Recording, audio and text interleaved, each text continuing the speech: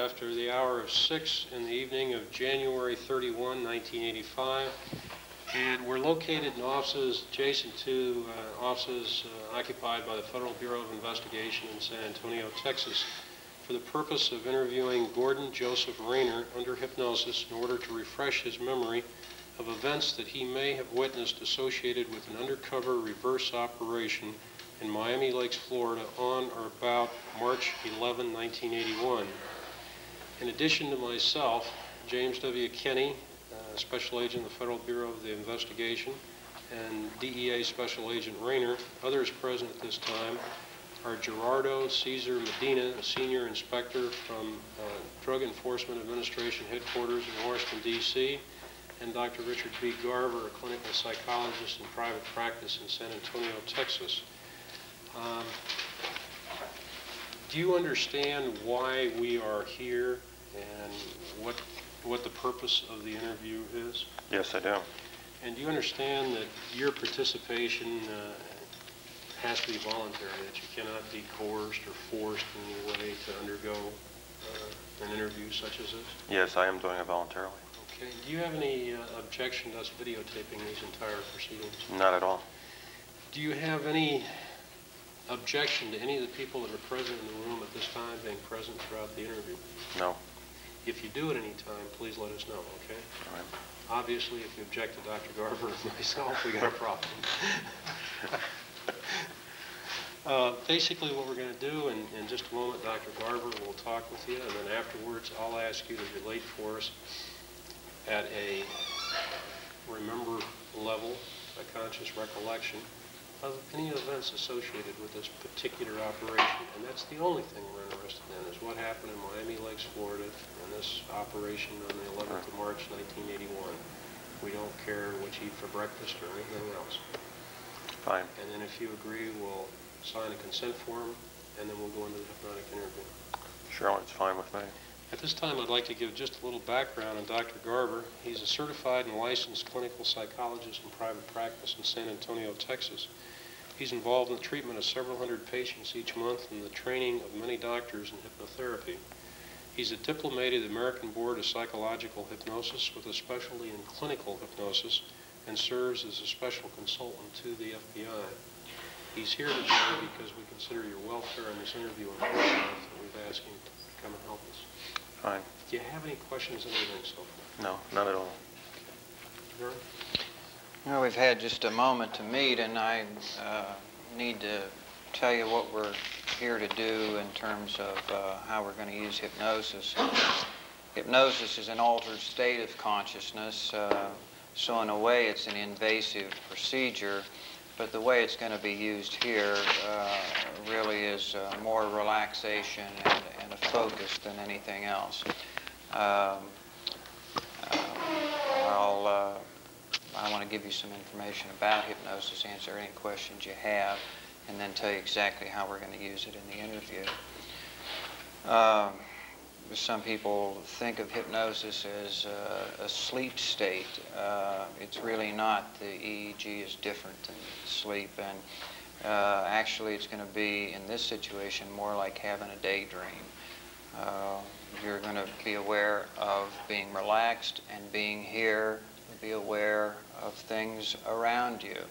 A person who would be having hypnosis for surgery would not. We would ask them to dissociate. We would ask them to go fishing or hunting or where they wanted to go, and we'd see that they get there and that they wouldn't be here and wouldn't remember anything. And, but uh, obviously that would be counter to what we're wanting to do here. This is to enhance memory, and hypnosis has uh, uh, as its center a focus. Uh, now, the focus for the surgery patient is kind of the same focus that you or I would have if we listened to a boring speaker. It wouldn't be the speaker, it would be away someplace.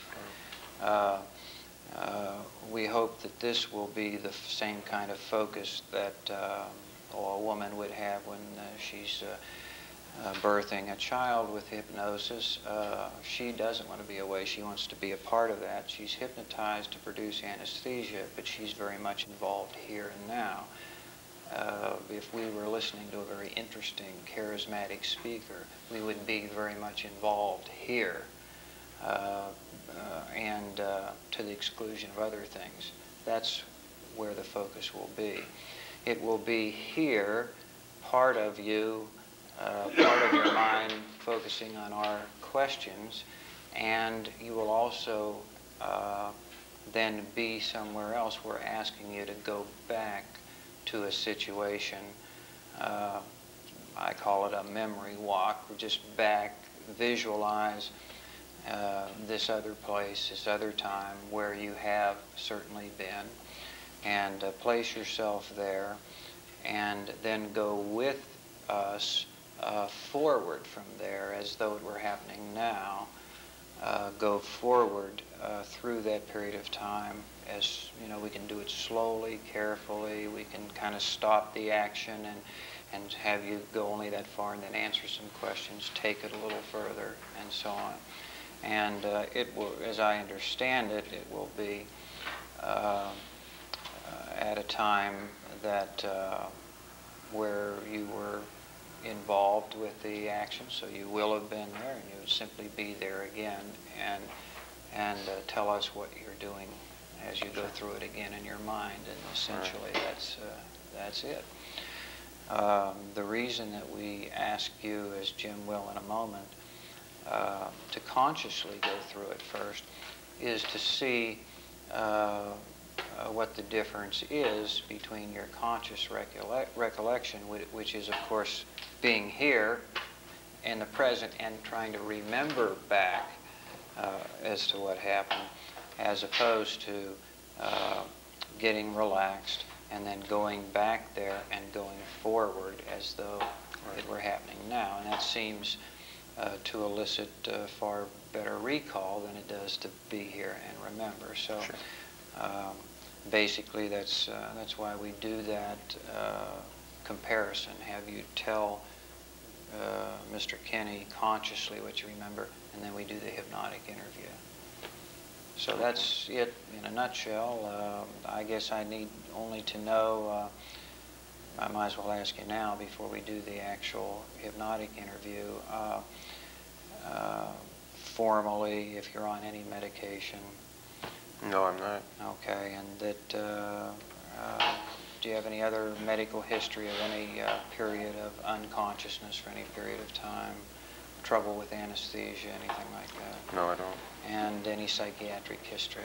No. Okay, thank you. Well, oh, well, I guess one other thing. Uh, uh, is- how is your vision normally? Is it 20/20 or corrected or? Mm, no, it's not 20/20, it's 20/20, uh, 20/10 in my ri- right eye and about 20/60 in my left eye. I wear glasses for distance, and I do have a pair of reading glasses that I don't use because I they're see. Too close up. Okay, at the time of this uh, particular situation, were you wearing glasses? No, I wasn't. Okay, I just uh, started wearing them regularly uh, within the last year. okay. And are you, uh, to your knowledge, uh, colorblind? Do you have any trouble separating blues and yellows or reds and greens? No, as recent a test as uh, six months ago, I did not. Okay. All right. Uh, Any questions for me? No. Okay. Gordon, what I'd like to do is read the consent form out loud, um, and then ask you to look it over, see if you have any questions about it, and then try to address any questions you have. It reads on January 31, 1985, at San Antonio, Texas. I, Gordon Joseph Rayner, hereby agree voluntarily and freely to undergo hypnosis and be interviewed under hypnosis in order to assist the Drug Enforcement Administration, DEA, with an inquiry or investigation the DEA is conducting. I understand that James W. Kinney, a special agent of the FBI, and that's myself, will be present and assist in the interview. I also understand that a videotape recording will be made of the entire interview and that this method of preservation of the interview may be used for any lawful purpose connected with this investigation or any subsequent action based upon the investigation. Dr. Richard B. Garver, a mental health professional, has explained the procedures to be used during the course of this hypnosis session, and any questions I had concerning this procedure have been answered to my satisfaction. The purpose of this interview under hypnosis is to assist my memory in recalling events I may have witnessed associated with an undercover reverse operation in Miami Lakes, Florida on or about March 11, 1981.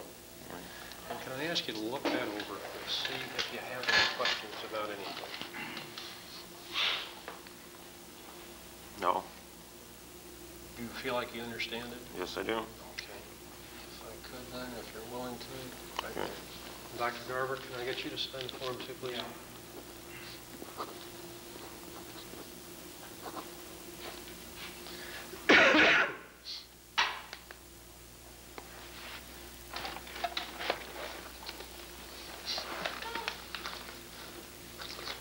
Do I get to see the tape after it's done? If you want to. You sure can.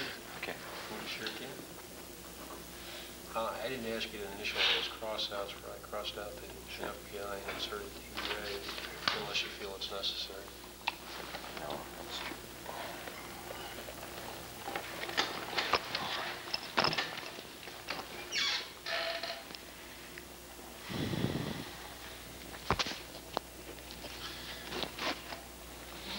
Can you tell me what you remember about this? And, and keeping in mind that, that our interest is as it pertains to this particular event, this, this operation. I think Okay. you're aware of which one we're talking about. Right, uh, prior to, prior to March 11th, I think it was either the 10th or probably the 9th, uh, I was down there from Savannah assisting the agents in Operation Grouper.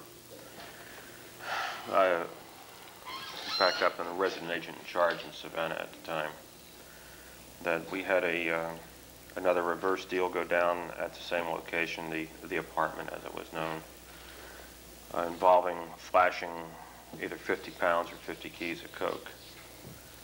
And I got involved in the chain of custody of the coke. It was bothersome to me that the, uh, the methods of control they used for the evidence were not up to my standards. Uh, Using that as a basis that on sometime bef- uh, before the deal went down on the 11th, and I think it was that morning, we had a meeting on how the deal was going to go, and that I said that uh, I was insistent that we were going to have some, uh, using evidence labels, the DEA evidence labels, and secure the money that was anticipated to be obtained from the uh, violators, seal that in some manner, and that if I, especially if I was going to get involved with it, and that way I wouldn't have to be involved in the chain of custody of the evidence for a case that was basically the groups in Miami. And if my participation involved taking a sealed box, I could hold it for a period of time and turn it back over and still not appear in the official chain of custody because of the, uh, my confidence in the sealing methods that I'm just, uh, I wouldn't have to be officially involved in chain of custody. So at some time at the meeting in the morning, I insisted that we do use the the DEA labels, evidence labels, and put it in a box, and somehow we got the Xerox box. Uh, They then, or we all went out to the undercover area. The uh, first thing, the uh, group supervisor surprised me when he changed the game plan and said, "You handle the outside situation, which is the surveillance and the arrest of the bad guys after they leave the apartment with the coke."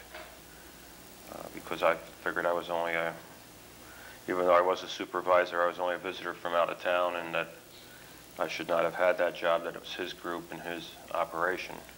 But I agreed to do it anyway. We got set up on the apartment out in Miami Lakes. Uh, The deal was that the undercover agents were in the apartment, and as we had done in the past, had bad guys come up to the 7-Eleven area, call the house, and an undercover agent would come out, meet them, and lead them into the area as a protective measure. Uh, in the Meantime, uh, we had the phone under surveillance at the 7-Eleven. We determined that they had received a call. I observed Agent Healy come up in the uh, Trans Am, meet with the two subjects. I think we're in a Subaru station wagon. and drive towards the house. The surveillance had been planned, and we had set up on the house.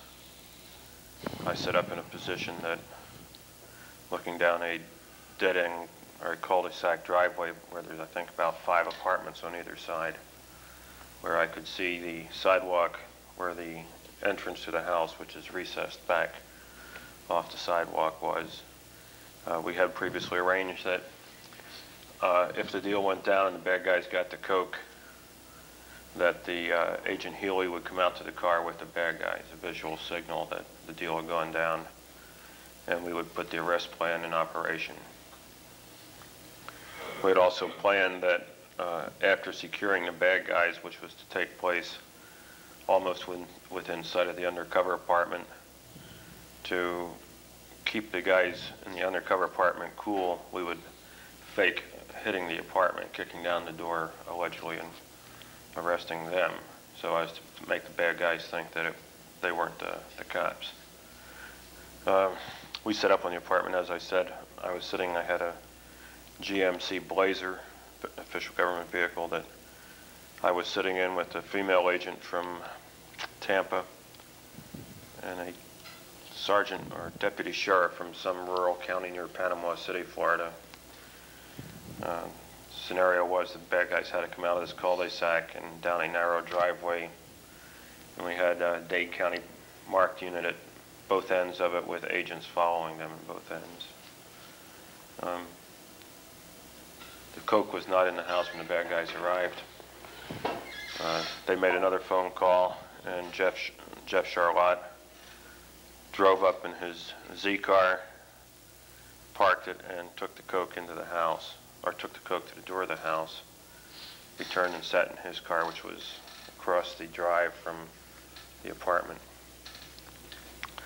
Eventually, uh, Pat Healy and the two bad guys came out and put something in the car, and since he was with them, I knew that the, they had the coke. I alerted the uh, other surveillance units, and as they came up and turned down the street out of sight of the front of the apartment, uh, Dade County Public Safety Unit moved in from the front. The Subaru stopped, and they started to back up, and the other marked unit came up behind them, and the agents in the car behind the Dade County unit in front came at the car, and by this time I had come over the wall, the retaining wall between the driveway where I was and where the action was. And the, uh, the arrest went down, the arrest and seizure went down. Both guys had guns. We seized them, the guns, and the coke with the standard confusion that goes down with one of those deals. And then, as an afterthought, sort of, oh yeah, let's hit the apartment. And Jeff got there ahead of me because he wasn't really involved in the bust. And then I made loud noises and pulled my shiny automatic out and says, okay, let's go hit the apartment and ran down the short distance to it and hooping and hollering and making lots of noise and looking like a fucking fool that I uh, went up and beat on the door and went in. Inside, the agents I remember that were in there was Ted Weed, Larry Hahn, Pat Healy, and I think Billy Renton from Panama City. And some way I got the money in this, in the, or somebody said there's the box of money. The uh, money is in the box. And there were, the evidence tapes were on it. And somebody also suggested, hurry up, let's clean up the place because we expect another bunch of bad guys in. They're going to run a similar deal again. And as I picked up the box, the evidence tapes came off. Not completely off, they popped off the bottom. And uh, I remember saying, oh shit, now I'm in the chain of custody of the money. I took it back out. I took custody of the money. And initially I thought I had gone back to my Blazer over, back over the fence, but with my memory being refreshed previously, that Jeff and I got in his his Z-car and drove down to the gas station where some of the surveillance agents were and whoever had driven my Blazer down there. Put the money in the back of the Blazer and with this, still with this female agent, and there was a black agent that accompanied us back to the DEA office. I carried the money upstairs to Group One, the group that I was working with, and an agent from Savannah that worked for me, and two local police officers from the Glynn County Sheriff's, or Glynn County Police Department in Georgia who were with me, part of my entourage, uh, counted the money quickly or counted bundles, I don't recall which, and determined that instead of two and a quarter, there was only about $165,000 there. And I temporarily sealed, the- put the money back in the box, temporarily sealed it again. And I wrapped it in plastic tape and put my evidence stickers on it with my name and everything. And stored it until, I guess it was two days later, when I took it out and processed the money, counted it again and again, verified the count on it, and put it in DEA evidence envelopes, the clear evidence envelopes, and heat, heat sealed it and turned it into the cashier. Um, And then, I know at the trial, there was a big stink made about the fact that the money was not what it was supposed to be.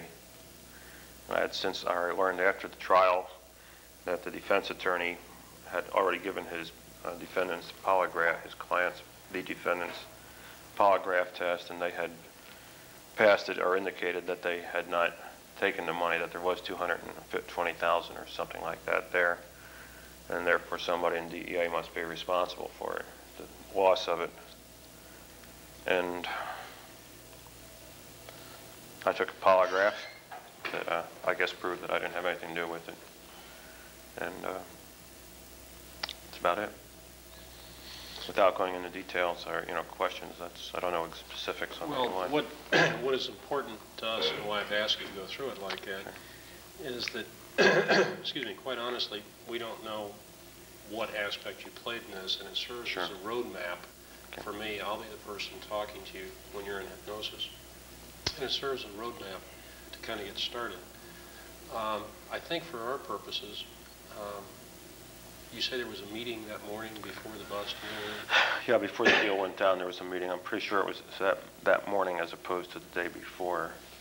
Well, we'll use that meeting as a point that we want to go to. Okay, And, excuse me, as you start getting in touch with it, if it's that morning or the preceding day, it'll be academic because you'll go Sure. to that meeting. Okay. If it is the preceding day, could you let us know, all right. uh, you know, what day it is? When I If get there, the day yeah. before, or if it's that, the day of the 11th. And then what I'm particularly interested in are the, uh, um, say, the conversations, the events, what happened, how you ended up with the money, things of this nature, and that'll basically be the line that I'd like to pursue. If at any time, while I'm talking to you, I guess being an investigator, you like to think of yourself as logical and progressive, and I might be, in my mind, going from one to two to three to four. And if all of a sudden you say, hey, this kid's going too slow for me, I want to go to six, go to six. Okay, I will be starting you out on a roadmap that, that I feel is developmental, but if anything comes into your mind, sure. you just say Okay. whatever the hell it is. All right, And if you don't like the method of questioning or how we're going about it, just say, let's try something else, all right. okay? Because you're Sure. the engineer, all right? Jerry, Guess is it's that my where we mind want to to go? get back To into the it. meeting before or to the March 11th thing? Pardon? Is that where we want to go, to the meeting before or the March 11th uh, uh, scenario? March 11th morning or, March 11th in the morning. Uh, Just, just briefly, uh, as to the box and and the tape.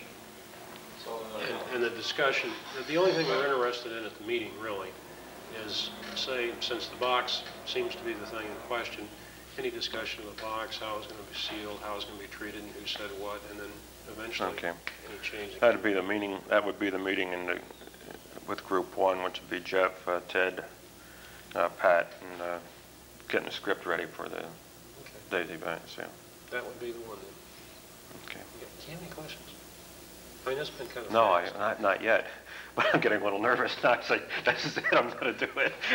Well, you know, you've been sitting around all day waiting, and now Oh, you're boy, in here, and yes. it's just like that. Okay, right? no, it's, it's about all. Okay. Okay. uh, As I, uh, as I mentioned to you before, uh, we're, both Jim and I are going to talk with you and, and, um, and help you be relaxed and, uh, and help you uh, go through this. And uh, basically, as you were going through this, uh, just now, telling him what what went on. Probably, as you were thinking about these events, you even had mental pictures that that uh, formed in your mind, as most of us do when we're recounting uh, some kind of uh, event. Uh, basically, that's uh, what we're going to be doing, except that uh, I'd like you to start by just closing your eyes and relaxing and just being as comfortable as you can be. And I'm going to be taking your pulse here. If you can just let me have this so I can have some uh, idea of how you're doing. And if you just take uh, a deep breath for me now, slow and easy, and then let it all out. That's fine. Another one.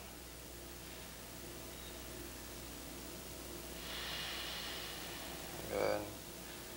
This one, uh, a nice deep breath and hold it now.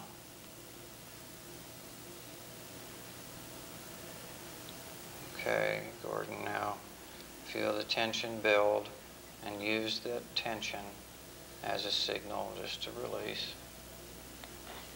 And just let go and just let all the tension drain away. And what I'd like you to do now is to begin just to uh, drift back. A way that'll help you do that is to start at the number 100 and think silently to yourself backward by ones. In other words, think 99, 98, 97. And continue to do that and just uh, give me a signal by maybe moving this finger as you're doing that. Okay, good. That's fine. You might time the count with your breathing uh, every time you breathe in or out. Or... Good. Good. That's fine. And that just helps you concentrate consciously, and your unconscious mind can listen to me. And it just happens very naturally, very easily.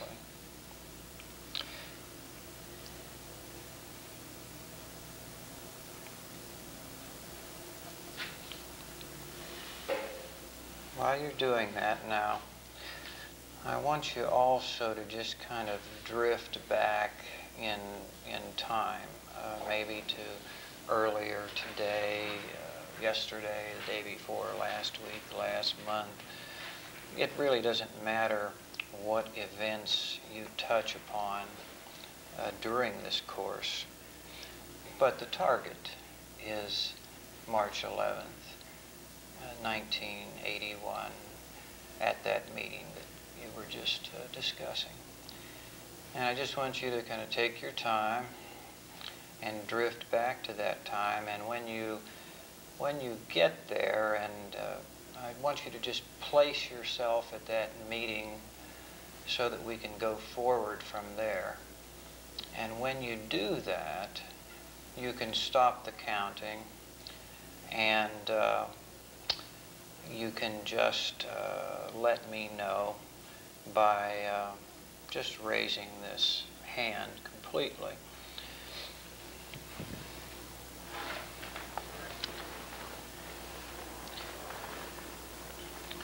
Another signal that we can use is there's a part of your brain, your unconscious mind, that helps you relax even more. I'm just going to give you a signal. That signal is just uh, pressure on your right shoulder, just like this. And that pressure will be a signal for you to relax even more, become more involved in, in the imagery. And when you can get a picture of you being at that meeting, before it starts or just as it's starting, you, you can pick the spot you know best where to begin. Then you signal me, and, and Mr. Kenny and I will uh, help you get more involved. Actually, uh,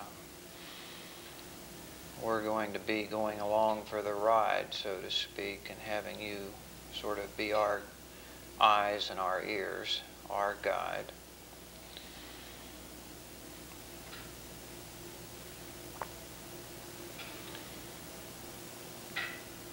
And we'll let you help us. It really needs you to tell us where we're going next. We, we want to be there with you and so there'll be some pictures that are occurring to us as you explain yours to us, what you're seeing. We want then to be now, now to be then. And when that time becomes now, we'll want you to go through that, tell us what you're doing now, what you're going to do next. And we'll, we'll be attempting to stay with you and to form pictures in our minds as well as to what has and how you describe it to us.